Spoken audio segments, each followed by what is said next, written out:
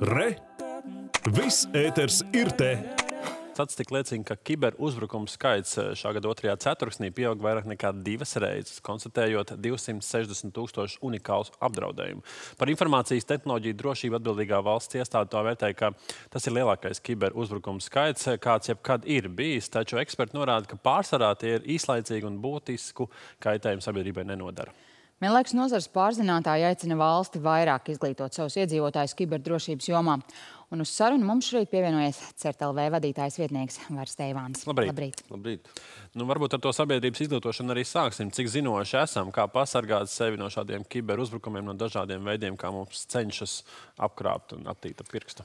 Bez šaubām, kiberuzbrukumi arī attīstās, un to, to izsmalcinātība pieeja šajā ziņā arī attīstās. Un, un gadās arī, arī gadījumi, kad gan sabiedrība, gan publiskais un privātais sektors iekrīt, bet tā, tā pašmobilizācija ir vērojama. Tā ir gan, gan par šo kiberuzbrukumu atpazīšanu, gan arī tehnisku sagatavošanās spēju. Tāpat, kā jau pieminēja, gan privātā, gan publiskā sektorā Latvija ir teiksim, tā, kiberuzbrucēju mērķis. Es teiktu, diezgan aug, augstu šajā sarakstā bijusi jau no janvāra vidus. Kopš 9. māja mēs esam vairāk kā pusotru mēnesi, mēnesi bijuši principā, top viens uzbrukuma mērķis arī Krievijas atbalstītiem uzbrucējiem. Uh, Un, nu, man, mūsu vērtējumā Latvija ir turējusies godam pretī šai spriedzei. Lai gan tā joprojām ir vērtējama kā ļoti augsta, tā noturība ir, ir kopsumā vērtējama kā laba. Jūs minējāt Krieviju, vai Krievija arī teiksim, līdz šim bija tas um, biežākais uzbrukumu mītnes zeme, varētu teikt tā, vai, vai kur, no kurām valstīm vēl? Es gribētu iezīmēt varbūt trīs virzienus tiem kiberuzbrukumiem, kas pamatā ir redzami. Tie, tie bez šaubām ir šie te, uh, servisa atteicis, pārslodzes uzbrukumi, kurus pārsvarā šobrīd uh, veids tieši Krievijas atbalstīti uh, vai organizēti aktīvisti, kā viņus sauc. Jeb, visticamāk, tās patiesībā nav pašorganizētas grupas. Visticamāk, kāds viņus koordinē un arī finansē. Par to liecina arī viņu izmantotie servisi, kas ir ļoti bieži maksas. Tātad jābūt kādam finansējumam. Tas tātad ir šis viens spektrs. Un, uh, jāatzīst, ka uh, tieši no Krievijas uh, nākošie šie uzbrukumi, jeb izcelsme, ir, ir tieši sākusies ar, ar šī gada janvāri.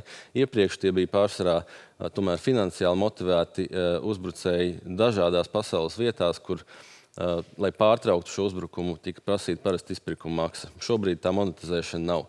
Otrs uh, virziens ir jau uh, izsmalcinātāki mērķēti uzbrukumi informācijas sistēmām, uh, ar augstu eh, vērtību, jau svarīgus datus apstrādājošām un konkrētiem individiem, jeb eh, iestādēm, lai iekļūtu korporatīvā eh, vidē.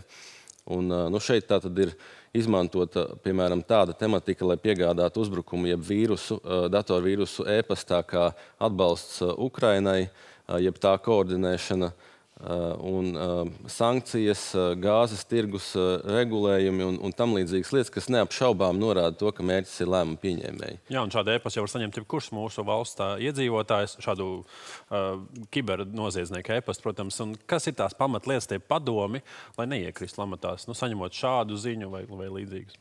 Jā, nu tad valsts iedzīvotājiem, jeb lietotājiem parastiem, protams, tā vairāk ir uh, kibernoziedzība, kas, kas uh, tā, darbojās šajā spektrā un finansiāli motivēti uzbrukumi.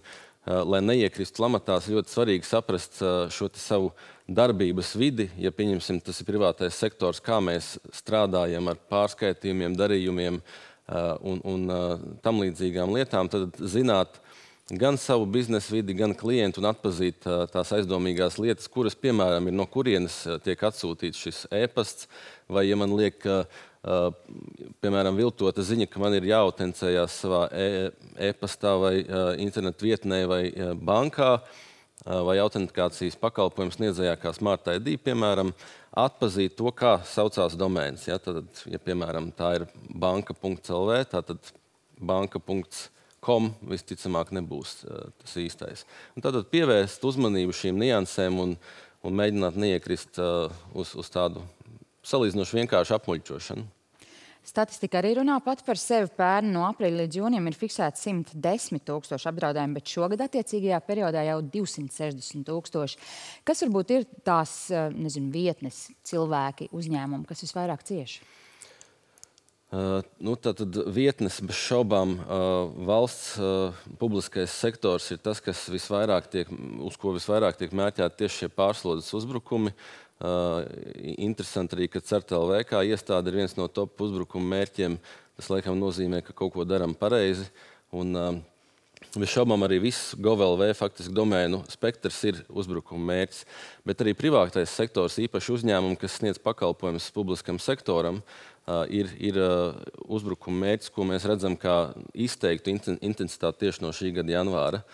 Un, jebkuram iedzīvotājam ir iespēja arī sevi aizsargāt ar, ar, ar servisiem, ko nodrošina bezmaksas CERTLV. Tas ir DNS ugunsmūris, kas ir pakalpojums ko mēs nodrošinām bez maksas visai Latvijas sabiedrībai un arī publiskam sektoram. Vairāk ar to var iepazīties DNS mūris.lv vietnē. Ņemot vērā, protams, pasaulē notiekošo arī, piemēram, divus pašmāju tādus būtiskus notikumus, kas drīzumā gaidām, gan saimnes vēlēšanas, gan arī pieminekļi pārdaugvā nojaukšanas un demontāžas process, cik karsta un droša tā kibertelpa varētu būt eh, Latvijā atlikušajos šā gada mēnešos? Jā, nu mēs arī rēķinamies eh, un strādājam kopā ar valsts drošības iestādēm, eh, vērtējot šo, šo risku un bez šaubām. Ir prognozes, ka vēlēšana tuvošanās būs ar savām provokācijām arī kibertelpā. Un šajā virzienā, protams, strādājam kopā, kā jau pieminēju, gan ar valsts drošības iestādēm, gan CVK tiek vērtēts gan šo iesaistīto informācijas sistēmu gatavība, drošība un noturība. Bet te ir svarīgi arī sabiedrībai saprast, ka Latvijā nav e-vēlēšanas, kuras, kuras tiešām var ietekmēt ar, ar kiberlīdzekļu starpniecību. Tas, kas mums ir elektroniski, ir šo balsu skaitīšanas process, ir elektronizēts un, un teiksim tā,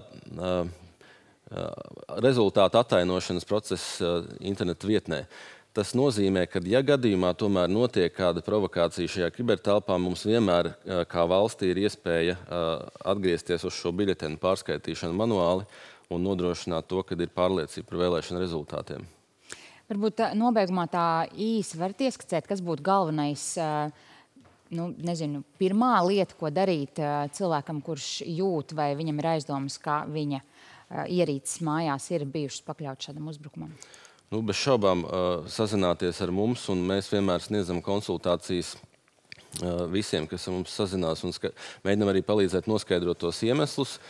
Un, un, attiecīgi, nu, šis mūžīgi piesauktais ieteikums veikt atjauninājumus, un tad, kad tie pieda tiek piedāvāti nespiest vēlāk, bet darīt to pēc iespējas ātrāk, ir, ir bez šaubām ļoti svarīgs. Un, un kā jau pieminēju, ir daudz bezmaksas un pietiekami ērti un ātri ieviešami risinājumi. Tas pats DNS ugunsmūrs, ko es pieminēju no, no CERTLV, tāpat arī antivīrus risinājumi no Microsoft, kas nāk līdz operētāju sistēmai bez maksas. Tas viss ir pieejams, un, un arī šī te tehniskā vide kļūst ar vienu ar vienu drošāka, un pārsvarā kiberuzbrucēji tomēr operē tieši ar šo apmuļķošanas momentu paķerot uz muļķi. Nu, ko, vairāk vērtīgi padomu no Paldies. jums šajā rītā. Paldies par aktuālo sarunu. Paldies. CTLV vadītājs vietnieks Vars Teivāns bija mūsu saruna.